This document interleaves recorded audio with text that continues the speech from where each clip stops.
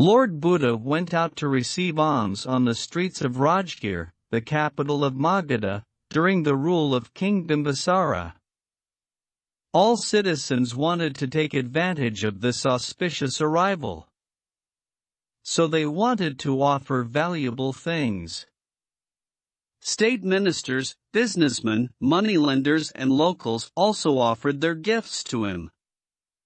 Lord Buddha accepted them all with one hand. King Bimbisara also offered precious diamonds, pearls and gems to Lord Buddha. Lord Buddha gladly accepted everyone's gift with one hand. Old woman also came there with a stick. Bowed down to Lord Buddha and said, Lord, I got the news of your arrival, I also wanted to take advantage of your darshan. That's why I came here even with the help of a stick. I am blessed to have your darshan. I was eating this pomegranate at the time of your arrival, however, I had nothing valuable to offer to the Lord, so I decided to offer the half-eaten pomegranate from my plate.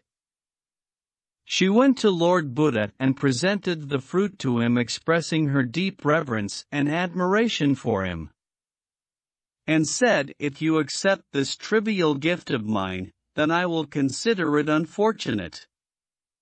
Lord Buddha held out both his hands and smiling lovingly accepted the half-eaten pomegranate gratefully and ate it. When King Bimbisara saw this he said to Lord Buddha, Lord, forgive me. I want to ask a question.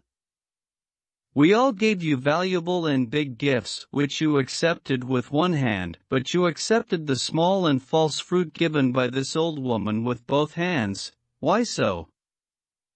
Hearing this Buddha smiled and said, King, you all have definitely given valuable gifts, but all this is not even a tenth part of your wealth.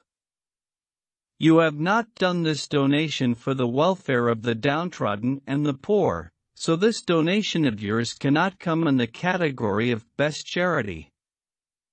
On the contrary, this old lady, despite being so poor, has given me every morsel of her mouth.